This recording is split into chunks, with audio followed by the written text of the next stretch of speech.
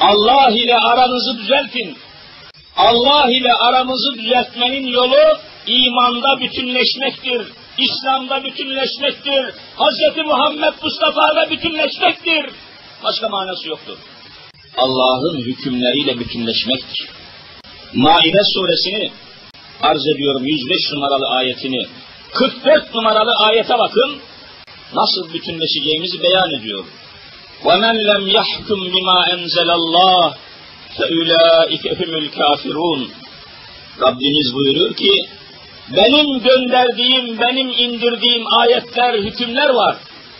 Benim gönderdiğim, benim indirdiğim, inzal demek Arapça indirmek.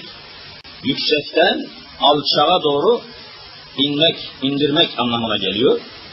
Kim ki benim indirdiğim, benim gönderdiğim hükümleri, esasları, kanunları bırakır da başka esaslar, başka usuller, başka ilkeler peşinde koşarsa, Allah'ın gönderdiği kitap dururken kendisine başka kitaplar ararsa, Allah'ın indirdiği kanunlar dururken başka ülkelerden kanunlar edinmeye çalışırlarsa bu insanlar ne olur?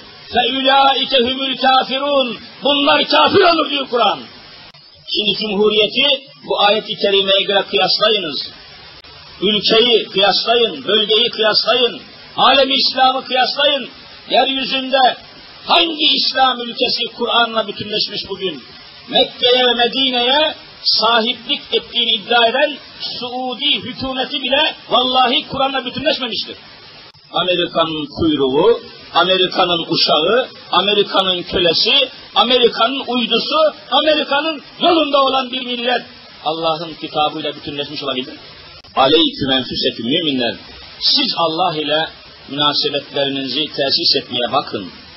Ne enflasyon canavarı sizi yiyebilir, ne Amerikan canavarı sizi yutabilir diyor. Vallahi Kur'an söylüyor. İşte bakın, enflasyon adeta çıldırdı. Dolar aldı başını gidiyor. Müslümanların boynuna takılan yular gibi dolar.